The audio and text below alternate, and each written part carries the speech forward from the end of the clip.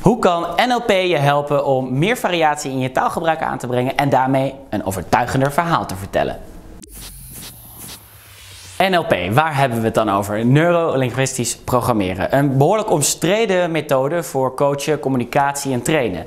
Waarom is het omstreden? Nou, omdat de wetenschappelijke basis voor de claims die NLP doet uh, vaak ontbreekt. Toch kunnen we er veel van leren, onder andere over variatie in je taalgebruik.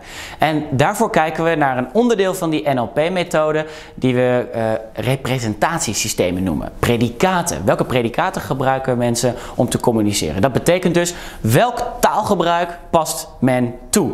En daar gaan we in deze video verder naar kijken. Volgens de NLP-methode kun je mensen indelen in drie nou, representatiesystemen. Sommige mensen die zijn meer gevoelig voor visuele predicaten en die gebruiken die ook veel vaker. Dus die spreken vaak in termen van focus, visie, uh, ergens de nadruk op leggen. En dat betekent dat die mensen ook aangesproken worden door woorden als visie, focus, etc. Alles wat met zicht te maken heeft. Mensen die volgens NLP meer auditief georiënteerd zijn, die zullen gevoeliger zijn voor zaken als horen, luisteren. En mensen die meer kinesthetisch georiënteerd zijn, die zijn meer gevoelig voor woorden die met beweging en gevoel te maken hebben. Nou, je kunt daar heel goed gebruik van maken om meer variatie in je taalgebruik aan te brengen.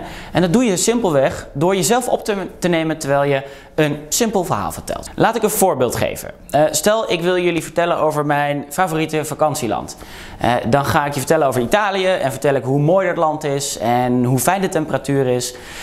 Maar je merkt al, dat is een beetje sec. Dat zijn feitjes en dat is niet echt heel erg overtuigend. Wat veel overtuigender is, is dat ik je vertel over dat ene dorpje waar je in dat ene afgelegen steegje een prachtig restaurantje vond. Met precies de juiste wijn en leuke bediening. Dat kleine verhaal, dat kleine voorbeeld, die mooie anekdote, die overtuigt veel meer dan het grote verhaal over het geweldige land Italië. En Waarom moet je dan dus gebruik maken van die visuele, auditieve en kinesthetische predicaten? Nou, die gaan je helpen om dat kleine verhaal te vertellen. Want je bent gedwongen het klein te houden als je dit soort woorden wil gebruiken. Hoe kun je dit nou zelf oefenen? Nou, door dit verhaal te vertellen. Het verhaal over je favoriete vakantiebestemming of hoe je huis eruit ziet of hoe je werkdag begint. En jezelf op te nemen en terug te kijken.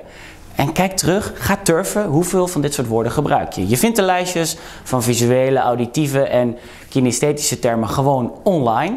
En test jezelf eens. Maak je gebruik van dit soort woorden. Vertel je beeldend, want dat is waar het over gaat.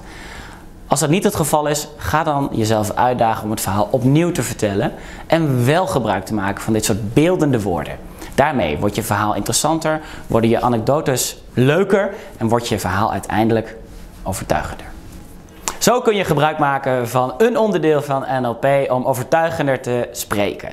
Wij zijn heel benieuwd of het lukt om deze tip in de praktijk te brengen. Laat het ons hieronder weten. Vertel ons hoe we je verder kunnen helpen. En natuurlijk vergeet niet deze video te liken en je te abonneren op het kanaal van het Nederlands Debat Instituut.